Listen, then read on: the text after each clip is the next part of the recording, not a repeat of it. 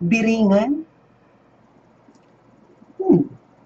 Maraming beses ko na narinig ang kwento na ito. Bata pa ako, naririnig ko na to. Sa lola ko mismo. Gusto niyo bang malaman? Mayroon akong konting alam tungkol sa kwento ng biringan. Isi-share ko sa inyo. Ready na ba kayo?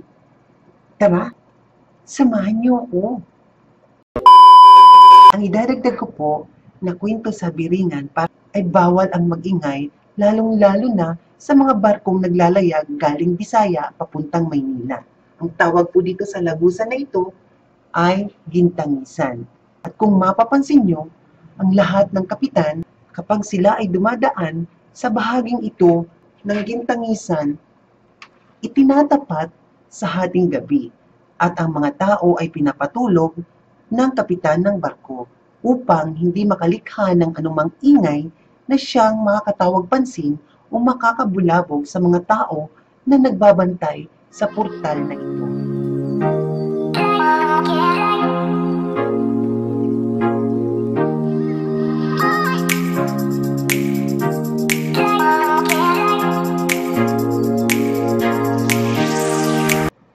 Hello sa lahat ng aking mga kabesh.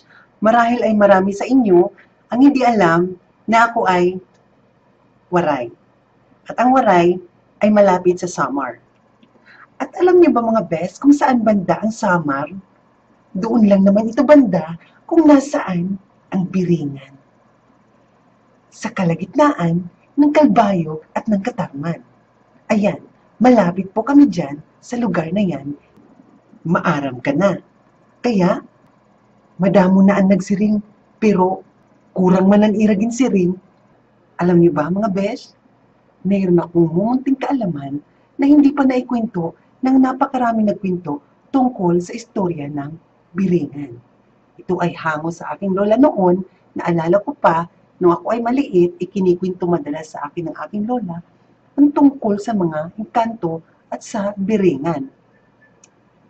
Dahil ang lola ko mismo ay niligawan ng engkanto na kung saan naggalit sila dahil pinutol ng asawa ng lola ko ang puno sa likod bahay na bahay ng mga engkanto na siyang nangligaw sa aking lola. Alam niyo ba mga besh kung ano nangyari? Nung pagkatapos putulin ng aking lolo ang puno na nasa likod ng bahay ng aking lola, ito ay umulan ng napakaraming lupa. At pagkatapos noon, nagkasakit ang aking lolo. At unti-unti na, siya ay namatay. Nabiyoda ang aking lola, subalit, tinanggihan niya ang mga nangliligaw sa kanya ng mga engkanto. Tinanggihan niya ang mga pagkain na inaalok sa kanya ng mga ito. At ako man din po, ay nagsasabi ng totoo at pawang katotohanan lamang na nung ako pa ay maliit, meron po akong kalaro, tatlong maliliit na bata sa aming likod bahay na kung saan may malaking puno ng mangga na nakatumba doon sa likod bahay ng aking tsuhin. At lagi ko silang napapanaginipan tuwing tanghaling tapat na naglalaro daw kami doon hanggang hapon. At pag dumaraan kami, at doon sa lugar, sa may kiling, mayroon doon isang napakalaking lumang bahay.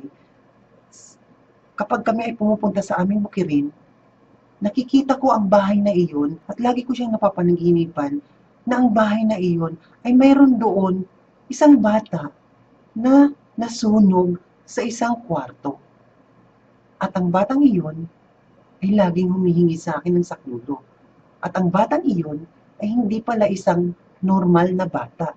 Isa siyang engkanto. At sila ay isa sa aking mga naging kalaro nung ako ay bata pa. Ito po ay totoo at walang halong biro. Iyan. Ready ka na ba? Gusto mo na bang marinig ang munti kong kaalaman tungkol sa kwento ng piringan? Ready ka na ba, mga katso? Go, sigo. Ako na rin magdadagdag ito ng iraging taram para mahibaruan iba. Tana, biringan, ang salitang biringan sa waray, alam niyo ba kung ano mga besh? hanapan ng mga taong nawawala. Kaya kapag may nawawala sa mundo ng mga tao, isa lang po ang sinasabi nila, baka nasa Biringan. Biringan, the lost city. Actually, hindi siya lost city, hidden city. Nakatago siya, bakit siya nakatago? Dahil protektado siya ng mga taong nakatira dito. Actually, hindi sila ordinaryong tao, mga besh. Sila ay mga engkanto. Sila ay mga nilalang na may extra power o may kapangyarihan upang sila ay maglaho o itago ang kanilang anyo o ang kanilang tirahan o ang kanilang lugar. Kaya hindi po siya lost city. Siya po ay hidden city. In Tagalog, siya po ay nakatago. Ulitin ko ulit, bakit siya nakatago? Ito po ay proteksyon o protektado ng kanilang namumuno o namamahala sa kanilang lugar upang hindi po sila mapinsala, upang hindi po sila matunton ng mga taong ganid sa kapangyarihan at mapang-abuso sa ating kalikasan. So ang kanilang lugar ay mayroong pong pananggalan upang ito po ay proteksyon sa kanilang kaligtasan. Hindi lamang sa kanilang kaligtasan upang hindi po ito maabuso ng mga taong ganit sa kayamanan at mapang-abuso sa ating kalikasan. Siguro naman po, ngayon malinaw na sa inyo kung bakit hindi po nakikita ng ordinaryong tao ang city ng Biringan. Actually, meron po talaga at nag-i-exist po talaga ang city ng Biringan. Okay? So ayon sa lola ko, ang mga tao daw po dito ay mga mababait. Sila daw po ay sumusunod sa kanilang namumuno. At ang kanilang namumuno, ang tawag nila doon ay ang kanilang hari. So ang mga tao ay namumuhay ng maayos ayon sa batas na ipinatupad ng kanilang hari at ng kanilang reyna. At ayon sa mumuntikong kaalaman, ang lahat ng mga taga-biringan na gustong lumabas ng portal ay nangangailangan ng pahintulot ng kanilang tagapamahala. At kapag sila ay lumabas ng walang pahintulot sa kanilang tagapamahala, ito ay may karampatang parusa sapagkat sila ay lumabag sa pinasusunod nilang batas sa batas ng mga taga-biringan. At ang mga tao na lumalabag sa batas na ito at sa pilitang lumalabas sa mga portal upang mangdukot ng mga tao sa mundo, sila ang mga umiibig ng mga taga-mundo na sa pilitan nilang dinudukot at nililing lang nila ito at pinapakitaan ng napakaraming yaman o karangyaan. At kapag nasilaw nila ang mga taga-mundo at kapag nasilaw nila ang tao sa mundo, ay sa kanila ito ooperan ng dalawang klasing pagkain. Ito ay ang pagkain na kulay itim at kulay puti. At kapag tinanggihan nila at kapag kinain nito ng taong tagamundo o tagalabas, ang taong ito ay hindi na makakabalik sa mundo. Siya ay mananatili na siya ay mananatiling siya ay mananatili na sa biringan. Siya ay dadalhin mismo kung saan ang mundo ng mga taga-biringan. At dahil dyan, siya ay mananatili ng nakatira doon habang buhay. Maari siyang maaari siya ay asawahin ng mga tao, maaari siya ay asawahin or maaari siya ay gawing alipin. Datapwat, ang mga tao na gumagawa nito na hindi nagpaalam sa kanilang tagapamahala, gaya ng sabi ko kanina, sila ay panigurado na may karampatang parusa sapagkat sila ay lumabag sa batas na kanilang ipinatutupad. At kapag pinili niya ang pagkain na kulay itim, siya ay dadalhin sa mundo ng mga taga-biringan at siya ay mananatili ng nakatira sa kanilang mundo habang buhay. Maari siyang gawing asawa ng taong dumugot sa kanya o di kaya naman maari din siyang gawing alipin nito. Ang kahit na anong pagkain na inoffer sa tagamundo ay walang magagawa ang dumukot nito kundi ibalik siya ng ligtas at payapa sa mundo ng mga tao.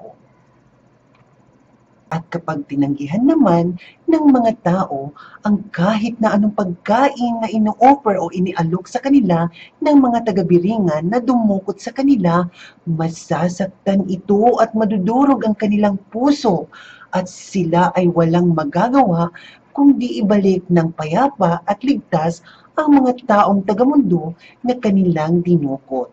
At sila naman ay maghahanap ng panibagong dudukutin o kukursonadahin upang maging biktima nila sa susunod ay mapaibig nila ito at mapakain ng mga pagkain na pagkain na gumagalaw at kulay itim nang sa gayon ay hindi na ito makabalik sa mundo ng mga tao at maging asawa o di kaya ay maging alipin ng kanilang hari o di kaya ng mga taong dumukot mismo sa kanila sa mundo ng mga tao. Bukod sa kanilang portal na nasa katawan ng mga puno, meron pa silang isang portal na kung saan ito ay napakadelikado daanan ng mga taga-tao sa biringan. Mahigpit itong ipinagbabawal ng kanilang namumuno na bawal itong daanan kung kaya mayroong mga mahigpit ng tagapagbantay sa portal na ito. Saan nga ba ang portal na ito? Ang portal na ito, ito po ay ang portal na kung tawagin ay gintangisan. Ito po ay ang maitim na maitim na liro o ipo-ipo papuntang ilalim ng dagat. Ito po ay pinagbawal daanan ng mga namumuno sa biringan sapagkat ito daw po ay delikadong portal at maaaring ikapahamak ng kahit na sinong taga-biringan kung sila ay magdadaan sa lagusan na ito. At ang lagusan na ito may mahigpit na bantay na kung saan ay bawal ang magingay lalong-lalo na sa mga barkong naglalayag galing Bisaya papuntang Maynila. Ang tawag po dito sa lagusan na ito ay gintangisan.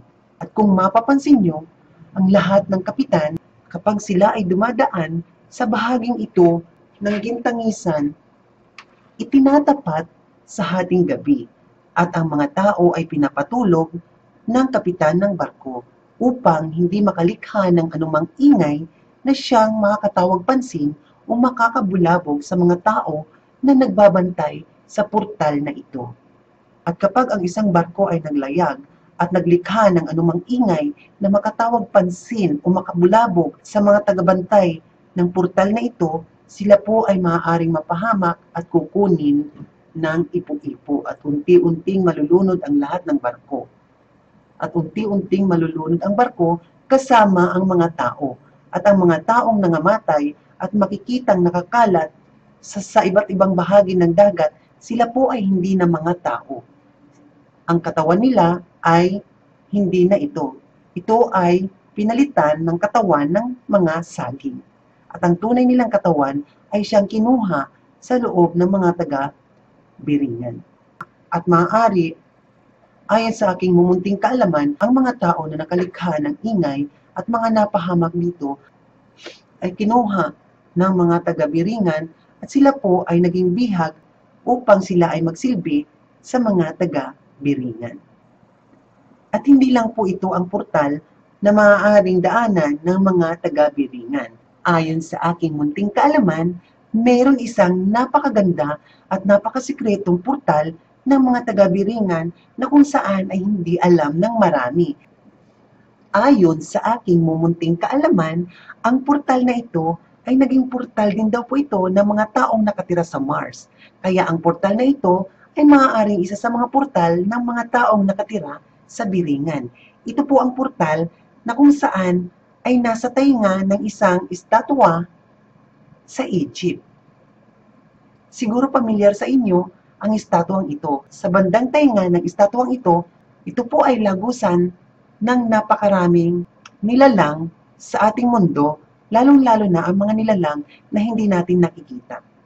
At maaari Lagusan din po ito o portal ng mga taga-biringan.